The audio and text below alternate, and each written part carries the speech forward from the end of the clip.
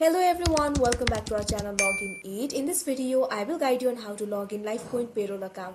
So if you also want to log into LifePoint payroll account, this video is just for you. Follow the simple steps and you'll be able to do it. So first of all, what you have to do is launch open any browser of your choice. You can see over here, I have opened Google Chrome. Now click on the search bar, type in lifepointbenefits.net, press enter. Now you can see over here, you'll be led to the official login portal of LifePoint. From here, you'll be able to sign into your account.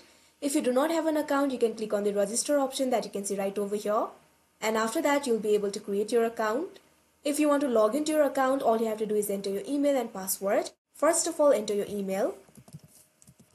Make sure to enter the correct email. If you have forgotten your email, simply click on the option update your account and after that you'll be able to update your email. Now enter your password.